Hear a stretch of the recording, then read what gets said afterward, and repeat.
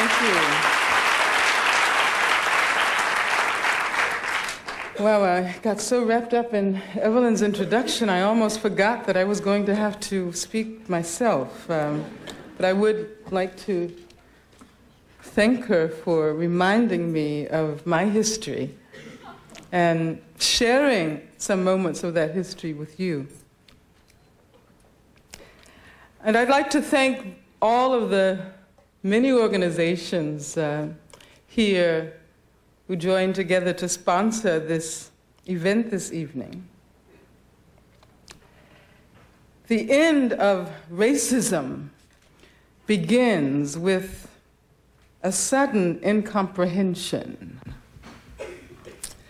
This observation at the end of Frantz Fanon's Racism and Culture, which referred to the cultural crisis of the French colonialists vis a vis the Algerian Revolution during the late 50s and early 60s, might also be associated with those who are presently arguing that efforts to rethink and restructure university education in accordance with the progress we have achieved in our historical consciousness, that is to say, consciousness of racism, of male dominance, of homophobia, and other forms of social oppression, that these efforts constitute little more than fanatic assaults on established principles and canons.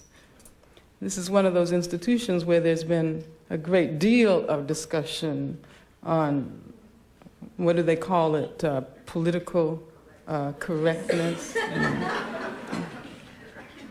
but I want to go on to say that there is also incomprehension as to why some of us might be interested in challenging and protesting the quincentennial celebration of Columbus's arrival in the Americas.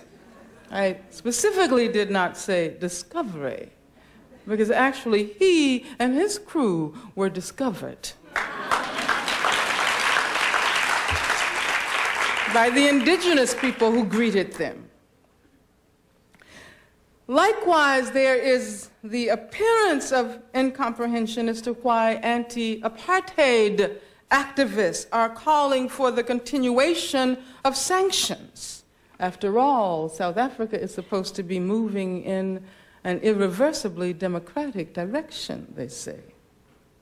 But Fanon continues the spastic and rigid culture of the colonialists, liberated, finally opens itself to the culture of a people who have become fraternal, and I would say sisters and brothers. Um, the two cultures can now confront each other and enrich each other. We look at the situation in this part of the world and in that part of the world as well, I think we can say that the colonialists or the racists, the misogynists, the homophobes, or rather the social system that depends so much on these oppressions for its self affirmation, have not moved beyond rigidity beyond a desperate claim of universality. And as a matter of fact, the contemporary pervasiveness of violence is a symptom of this rigidity. And that's what I want to talk about this evening violence. And specifically, two forms of violence. Two forms of violence that have acquired a distinctly counter revolutionary dimension. First of all, I want to talk about the violence in contemporary South Africa that has become so ubiquitous that it is simply referred to now in South Africa as the violence. And everyone is talking about the violence. This violence is one of the main obstacles to the development of a free and democratic South Africa. I also want to address that phenomenon we have come to call hate violence in North America? The observations I want to make on the violence in South Africa are largely based on a trip I made to South Africa a couple of months ago. The observations on hate violence are situated within the context of my own political practice, specifically in relationship to the counter celebration in 1992 led by organizations of indigenous people in the Americas. How many of you followed Mandela's recent trip to this country?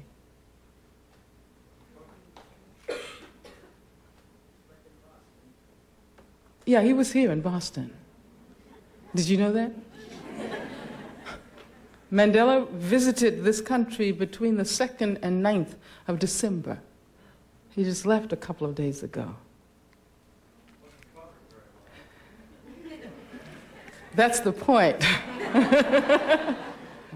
I mean, I, I say that because I think it's important for you to reflect upon the extent to which the information that you have is controlled, totally controlled. How many of you knew that Mandela was here in June of 1990? Um, Everybody, right? And what is happening now in South Africa is that um, progressive organizations, led in the first place by the ANC, are working hard to build the foundation for a new South Africa, not some utopian dream that a de Klerk might make reference to. And when Mandela was here, he spoke, among other places, um, at the United Nations. We can see, he said, rising on the horizon, the new glorious entity which shall no longer be spoken of as the pariah among the nations, the detestable example of what is impermissible in the ordering of human relations, the homeland of a crime against humanity. We are beginning to see emerge a new country which because it arrives so late at the Festival of Liberty, must surely value freedom like the apple of its eye and strive hardest to live up to the dream of all humanity throughout the ages for emancipation, prosperity, happiness, and peace. I met with Nelson Mandela on several occasions during my visit to South Africa. Um, and I made a promise to him and to other members and leaders of the ANC and the ANC Women's League and the South African Congress of Trade Unions and other organizations that when I returned to this country, I would share with as many people as possible my immediate experience of the violence in South Africa. On the second day of my trip, I saw a group of black children playing among the broken gravestones in a cemetery in Alexandra Township on the outskirts of Johannesburg. That image frightened me. It conjured up my childhood fears of an immense cemetery located between my parents' house and the elementary school I attended in Birmingham, Alabama. There were, of course, circulating at school all manner of stories of ghosts and zombies uh, arising from this uh, cemetery. So that during the eight years I attended that school, my heart would always beat a little faster each time I walked those incredibly long two blocks next to the cemetery. But here were children in South Africa whose only playground was a cemetery, and for whom the gravestones served as a standing invitation to play hide and go seek. This image haunted me for the remainder of my trip, functioning as something of a metaphor for black people's lives in the townships there, living precariously but joyfully on the edges of death, living and fighting and singing and dancing on the ledges of life, with the enduring hope of moving from the edge to the center, from the squatter camps, where one room cardboard shacks housing as many as eight people are literally constructed on garbage dumps out of sticks and, and, and cardboard, moving from those squatter camps to a solidly built house with at least three rooms, from the townships on the fringes of the city into the city itself, from a disenfranchised political status to full participation in a democratic South Africa. There were probably many people buried in that cemetery I saw in Alexandra Township whose lives had been claimed by the violence. This violence has been represented here in the United States as black on black violence. There was a period when every day we found newspaper articles and television programs on the black on black violence in South Africa. And it's true that most of the recent violence has been perpetrated by black people on other black people. But why do they call it black on black violence? Why do they privilege the race, the racial dimension of that violence? When was the last time you heard about white on black violence? White on white violence. There's been a lot of that. No, but I'm thinking of some dramatic incidents. For example, uh, the Rodney King uh, situation. Did anyone say that was white on black violence? Or white on native violence? Or, as you said, white on white violence. World history is replete with white on white violence. And of course, there's also black on white violence.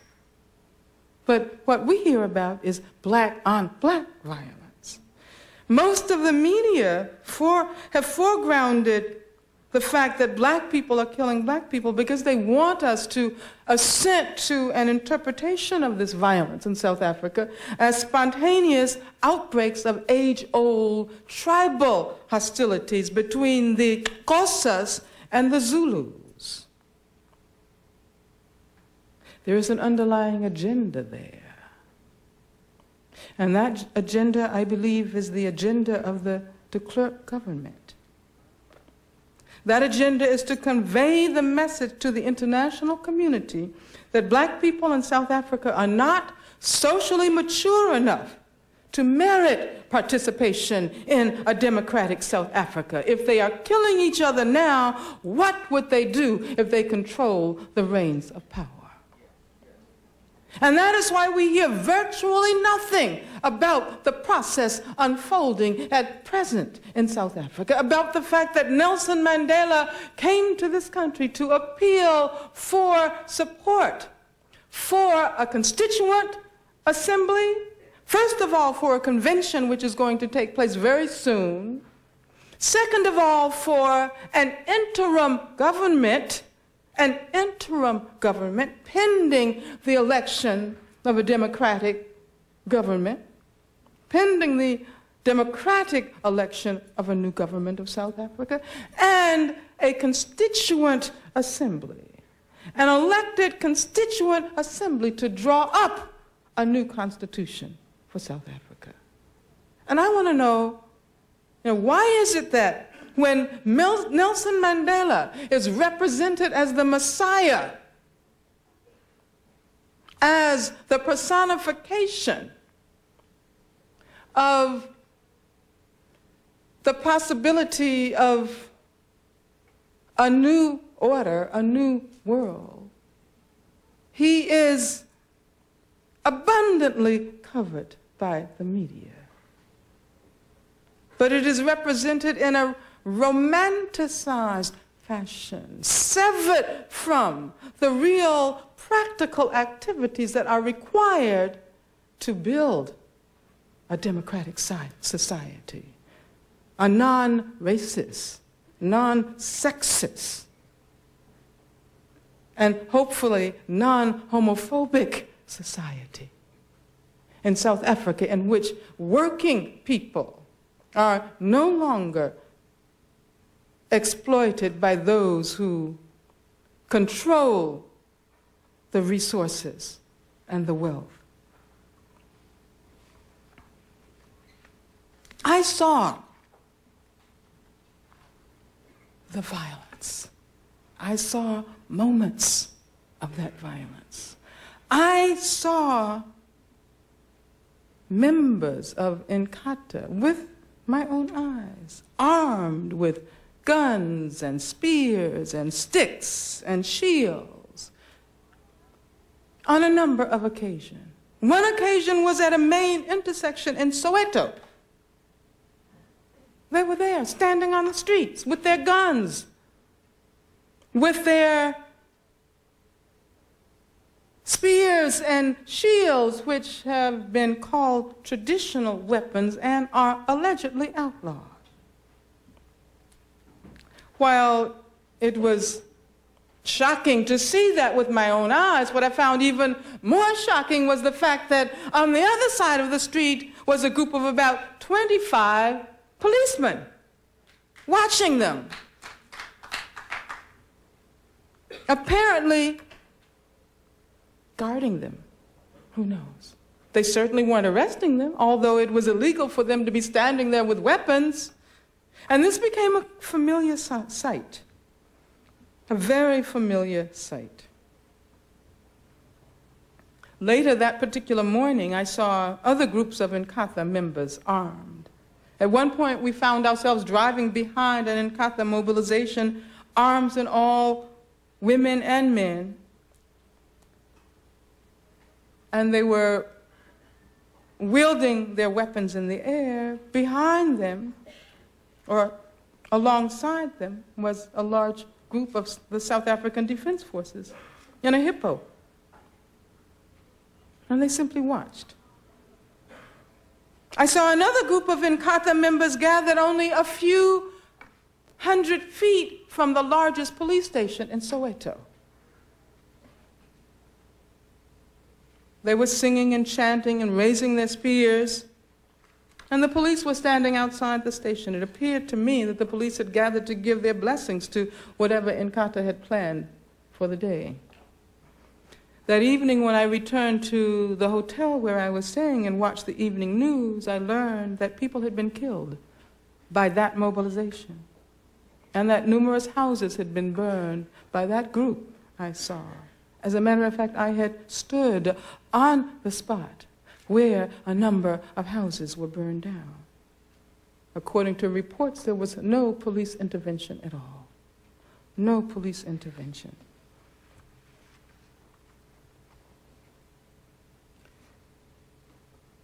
So, what is Inkatha? Inkatha Freedom Party, led by Chief Buthelezi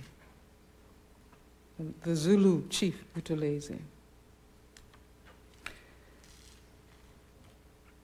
It is an organization which has existed since I think 1984 and initially was founded in Zululand, in the Natal, by people who were in solidarity with the ANC as a means of creating a support system inside the Bantustan in the Natal for the struggle for a free and democratic South Africa. I don't have time to go into all of the details of its history. But what I do want to share with you is the fact that the first victims of the violence were not Xhosa people. The first victims of the violence were Zulus. Zulu students who, as the character of the organization began to change, decided that they did not want to be a part of a movement they considered to be clearly backward and to a certain extent in collusion with the apartheid government. Students who attempted to leave Inkatha were the first to be killed. And the violence as it unfolded was visited, visited largely on initially Zulu people in the Natal. Now, of course, it is being constructed as tribal violence. Zulus against Xhosas. Many of the Zulu members of Inkatha live in hostels, live in single sex hostels, which were which are a peculiar feature of apartheid, constructed in order to provide housing for workers defined by apartheid policy as migrant workers. Since the system of apartheid relegated virtually the entire black population to separate areas that are called Bantustans or homelands, depending on their ethnic background. A network of hostels was erected in order to house the people apartheid considered not as human beings, but rather as units of labor power, as units of labor. And many of these hostels continue to function. They were designed to break up family formations, particularly in the cities there are male only hostels, and there are a few female hostels. Even if a married man and woman from, say, the Ciskei or from KwaZulu live and work in Johannesburg, they cannot live together. And this was especially true earlier, but it continues to be the case today. They must live separately in their respective hostels. The vision of apartheid was to create such hostels throughout the urban white areas so that all, virtually all black people working in the all white areas would be housed in hostels. The hostels have no places for children who must be left with their relatives um, in the homeland. In Soweto, while there are many male hostels still functioning, there's only one female hostel. And this, of course, indicates the original apartheid conception of women as mere appendages to male labor units. The only useful labor women were expected to perform was as domestic servants, as live in servants. Therefore, they would be housed on the premises where they worked. In the areas I visited, I was told on numerous occasions that Inkatha's stronghold is the hostels. And in Soweto, the hostels looked especially foreboding. They were generally surrounded by large spirals of barbed wire. Small windows indicated the small cell where as many as six or eight men lived together. Someone in Soweto told me that people in the community are often afraid to walk down the street where the hostels are situated for fear of being shot down by Inkatha members. On several occasions, I saw the police transport vehicles, which they call hippos because they're big, like hippopotamuses. Uh, um, and they look like these big oil tanks. And I don't know, perhaps 25 or 30 uh, policemen. They're always dressed in camouflage. Uh, um, uniforms are transported in these vehicles. South Africa is a police state. It is a police state. I have never seen such visible um, manifestations of the police power of the state as in South Africa.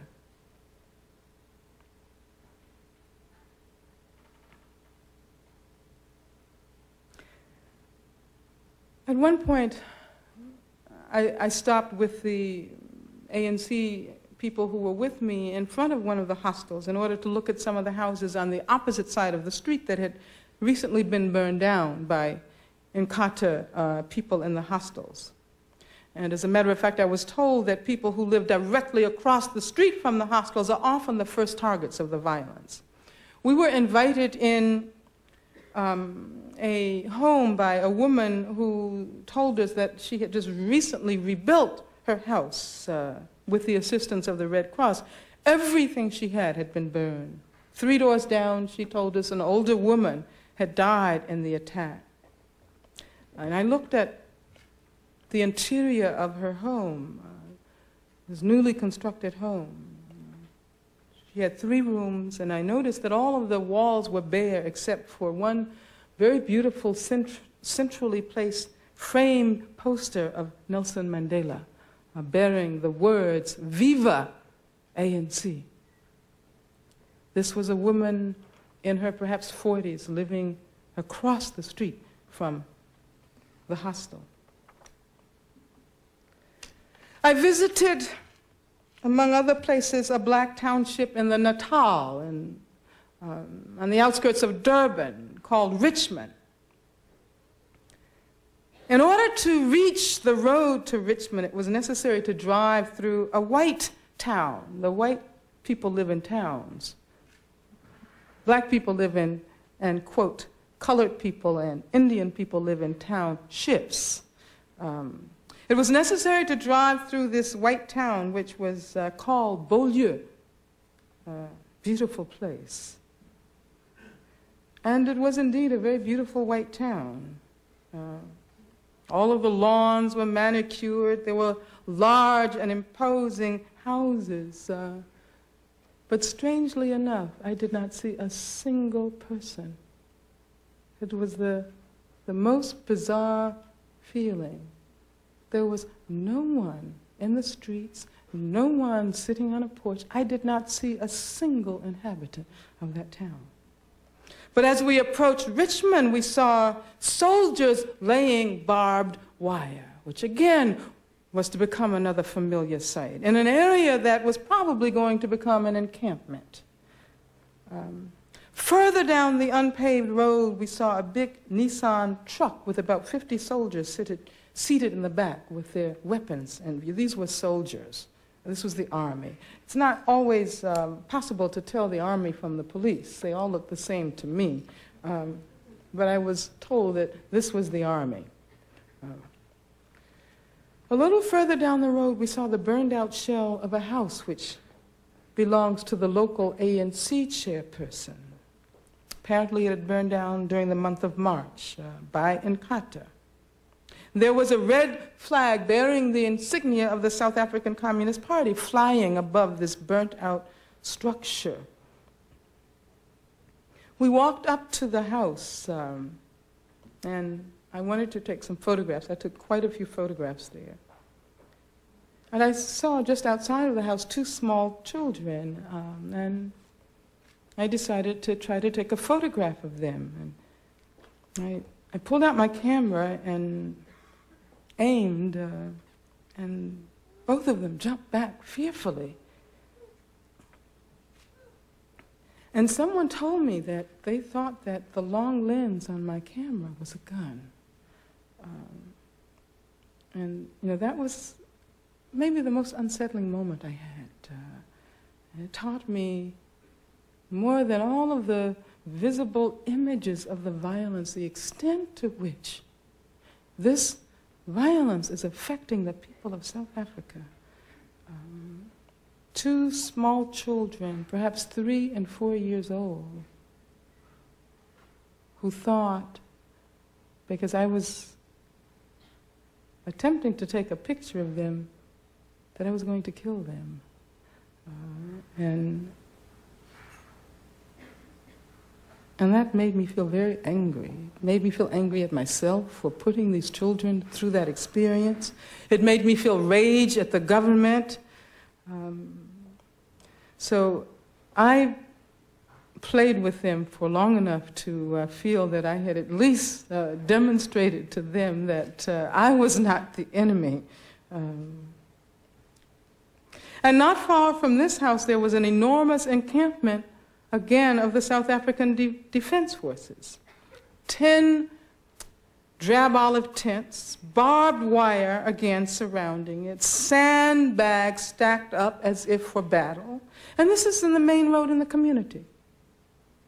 Um, as a matter of fact, that day was a Sunday. Uh, people were walking home from church, and, and the image of you know, women in their Sunday meeting dress, uh, greeting each other on the street, coming from church uh, against the backdrop of this enormous military encampment. Uh, um,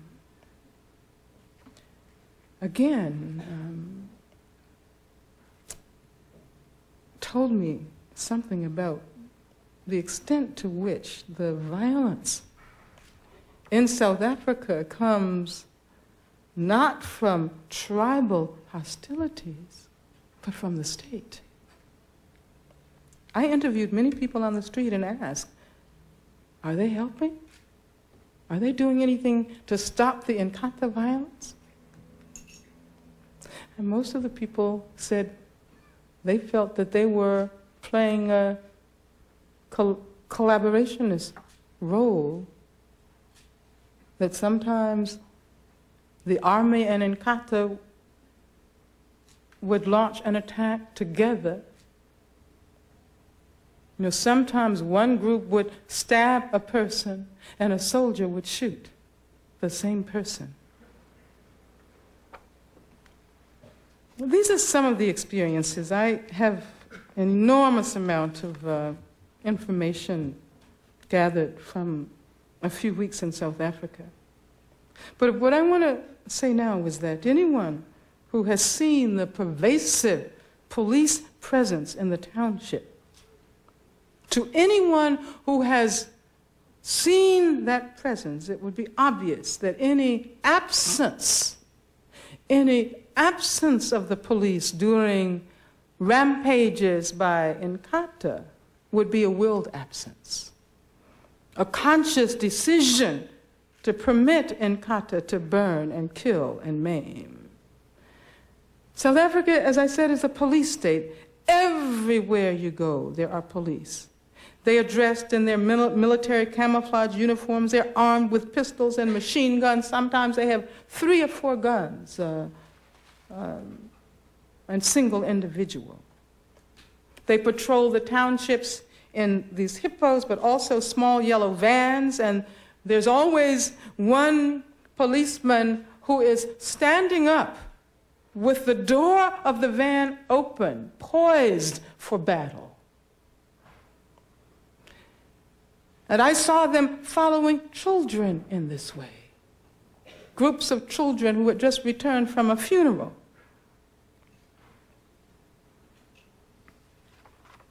Over 10,000 people have been killed since 1984 when the violence began in the Natal.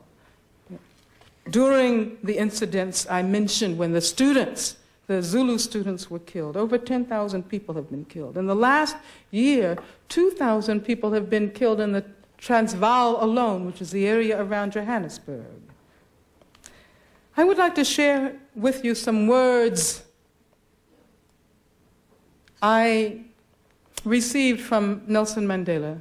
Um, in the course of an interview. He said, There is no question of a clash between the Zulus and the Xhosas, as the press is trying to suggest. No, it was originally a clash between the ANC and Inkatha.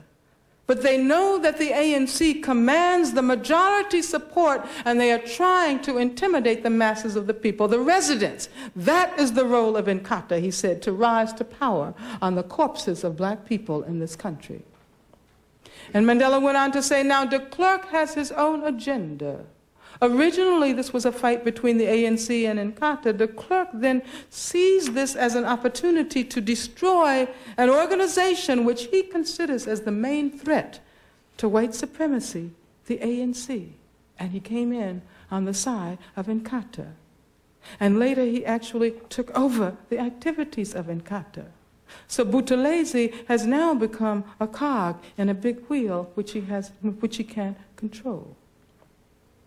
And I imagine that Mandela was referring to the fact that it has been demonstrated that the government has funded Inkatha.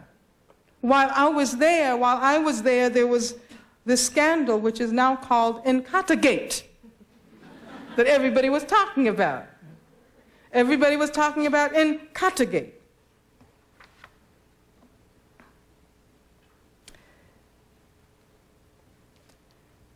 Of course, Inkatha is not the only source of this violence. Um, it's not so simple.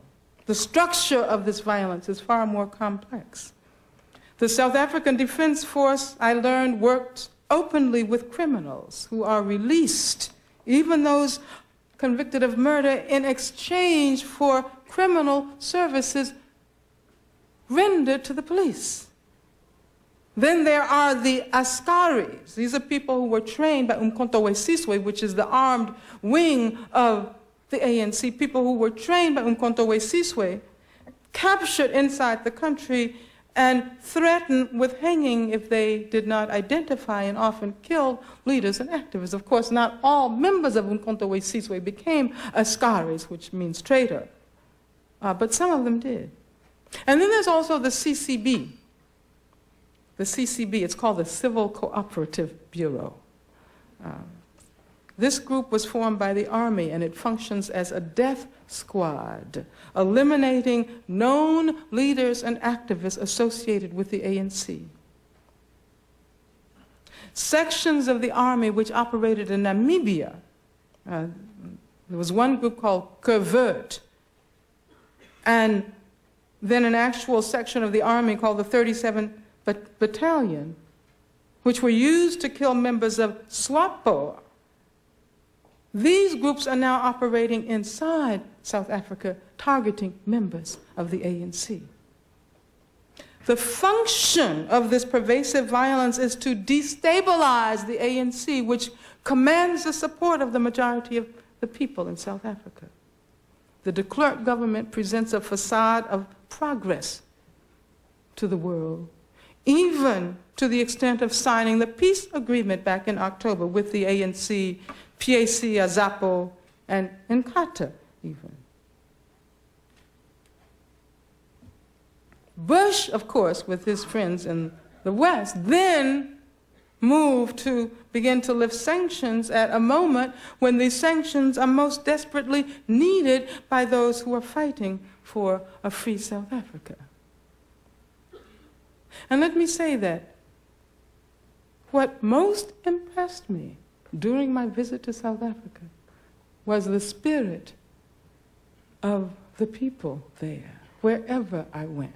When I say the people, I'm talking about people I met in townships. I'm talking about people who were living in squatter camps. I'm talking about people who were living on gar garbage dumps. I'm talking about people who were living in refugee camps, who had all of their belongings um, burned and stolen and were run out of their townships.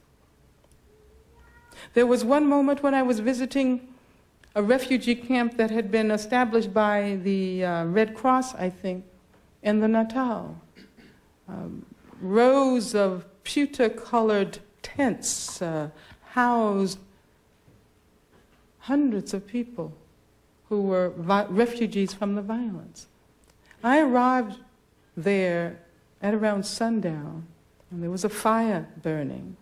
People uh, were complaining that they had no food, that the Red Cross had made a, a, a delivery of supplies in July, and this was in September.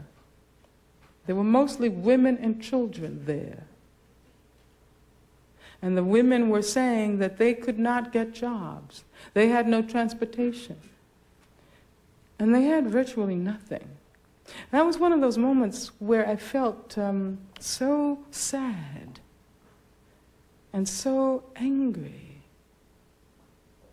But I felt so powerless because there was really nothing I could do at that moment. I felt that if I had just had you know, boxes of food or money or something that I would have done whatever I could have to guarantee that, that all of those people could at least, you know, eat a meal that evening.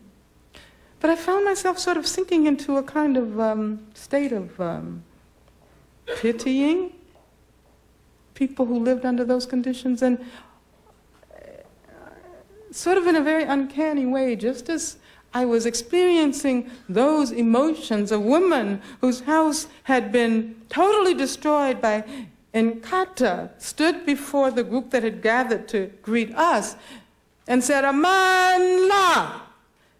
And all of the people there said, Awethu. And they began to chant and sing and dance. And I realized at that moment that it was me who was wrong. I should not have been feeling pity. Because the people of South Africa have established a record of struggle for generations and generations. And as a matter of fact, more than my being able to help them, they are going to help me. They are helping all of us.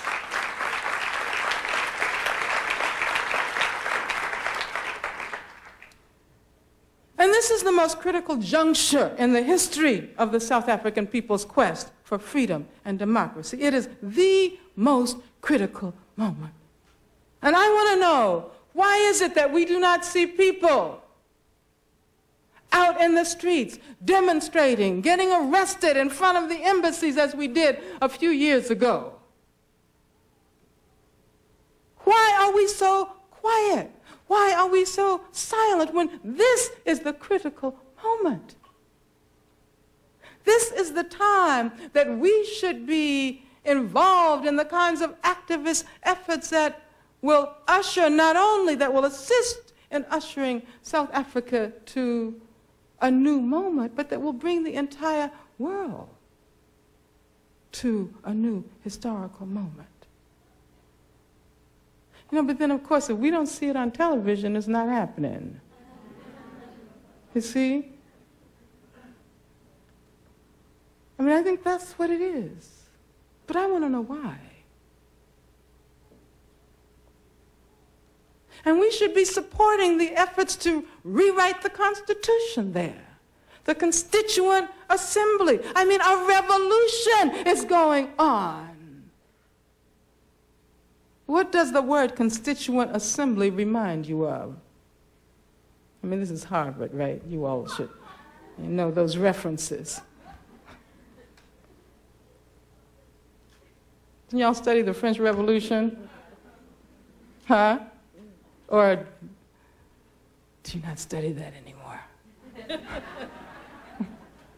but a revolution is going on.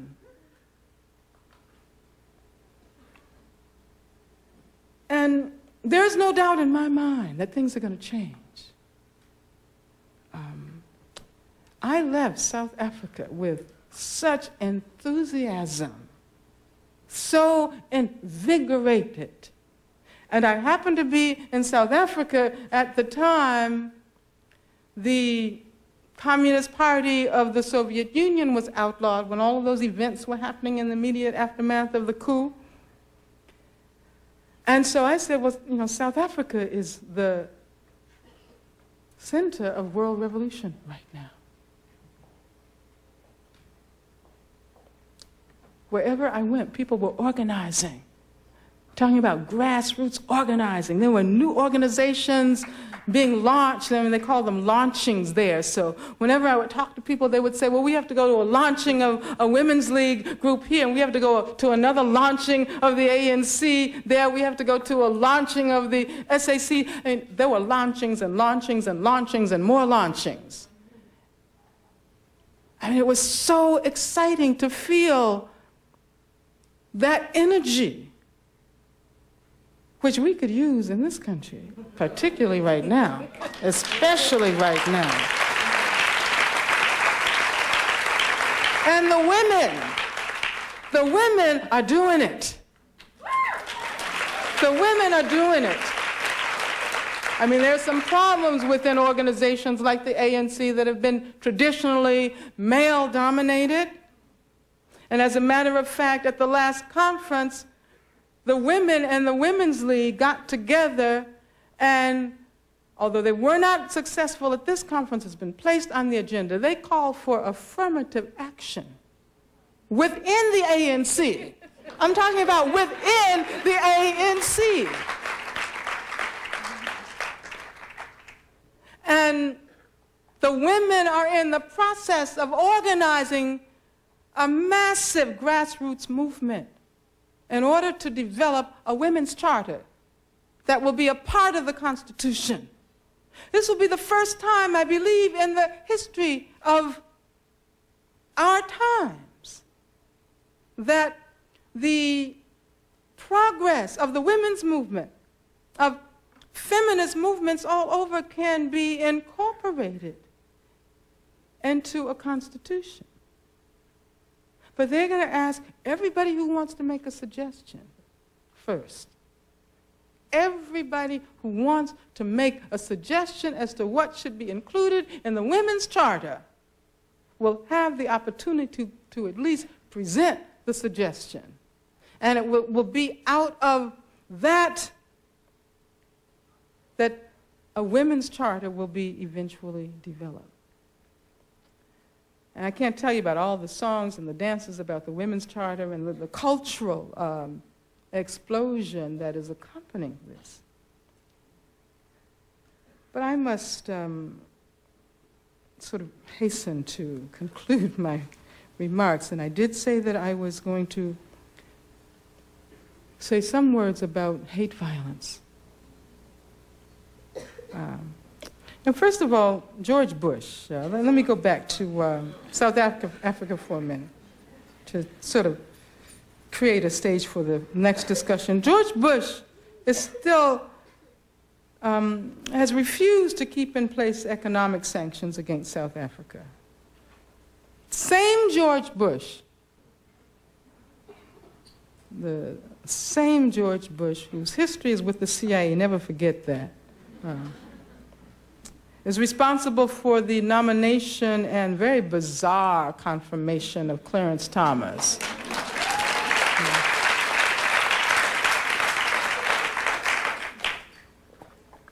If you're wondering why I so abruptly uh, changed subjects uh, using Bush as a convenient vehicle, uh, it's because I want to suggest that there's a kinship between Clarence Thomas and Chief Buthelezi. Um,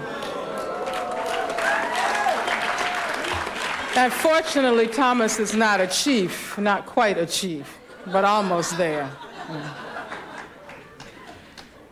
Both Buthelezi and Thomas represent a seemingly contradictory moment in the quest for racial equality and, by extension, class, gender, sexual equality. But this contradictory dimension of their roles is nothing new. There has always been a collaborationist impulse in the struggle for black liberation and in most struggles, not only here and in South Africa and Africa, but throughout the diaspora. What is new is the overt flaunting posture of the government vis-a-vis this collaborationist posture, vis-a-vis this, this impulse to collaborate. In times past, the Thomases and the Buthelezis would have been dealt with, but they would have hardly made it into the vestibule, much less into the parlor. Now, of course, I would venture to say the de Klerk government would much rather see Buthelezi as the first black president of South Africa than Nelson Mandela. And of course, a black man who opposes affirmative action, who was against women's reproductive rights, who has proven himself. And I found Anita Hill's compel, uh, testimony to be the most compelling of, of, of, the, of all of the hearings.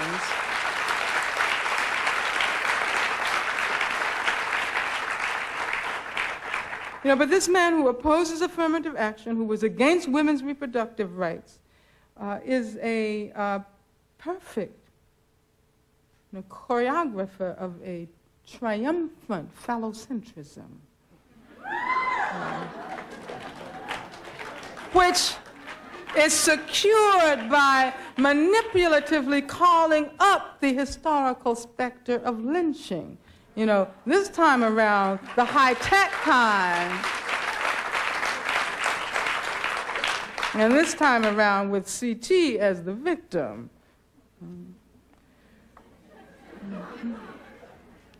When Nelson Mandela made his tour of the United States in the aftermath of his release, he made a very moving speech. Um, referring to a moment of meeting with a group of Native American people in the Bay Area. In his speech, he spoke about the desire to further learn about the life conditions of Native people, and he promised to return to the U.S. for the purpose of pursuing his contacts with the indigenous community here. During next year, only a few days away, during the year 1992, Native people throughout the country and on both continents of the Americas will lead a movement protesting the Columbus celebrations. Nelson Mandela has been invited, Nelson Mandela, not Buthelezi. Nelson Mandela has been invited to address an enormous mass meeting in Oakland on October 12, 1992.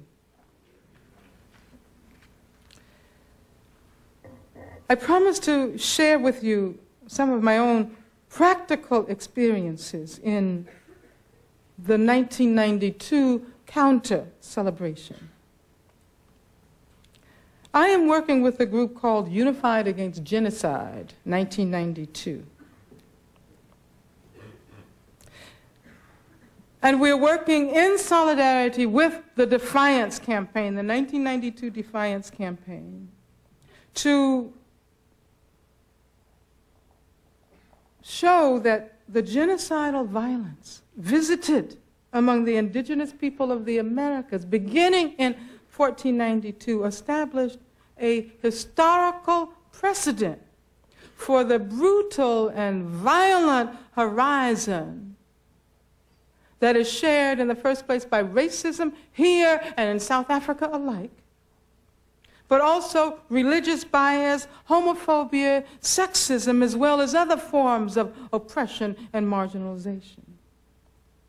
We have come to use the term hate violence for want of a more lucid term because it really is not about hate. It is about a, an impulse that is promoted by the socioeconomic system under which we live and the politics of the various oppressions related to the violence. But we use this term hate violence because I think we want to express the fact that there is something kindred about the physical and verbal violence and harassment so many of us suffer. Even though these violent dimensions of repression have their own respective uniqueness, depending on the structure of the oppression that is imposed on the particular community. And of course, many of us are members of interweaving communities. Uh, but even in those instances where some of us may have no direct experience of the hate violence, we need to grasp it in palpable ways and we need to learn how to fight it together in solidarity. One of the ways we can understand this kinship between ourselves, our sisters and brothers, and South Africa, and the Middle East, in Nicaragua, Cuba, is by educating ourselves with respect to the historical roots of these pervasive and proliferating contemporary expressions of violent bias. So that as an African American woman, I can talk about the slave trade and slavery and lynching as some of those historical moments that have constituted anti-black violence over the years. But the slave trade would have been inconceivable if Columbus had not made his voyage to this part of the world in 1492. And I think we can make statements about virtually every other racially oppressed, marginalized group that will clearly place racist violence in some kind of relation to the colonization process that was initiated by Columbus's party, um, by the fact that Columbus stumbled upon these shores lost and was discovered. So there's palpable evidence of the legacy of genocide in this country and South Africa, throughout the world, 500 years after Columbus.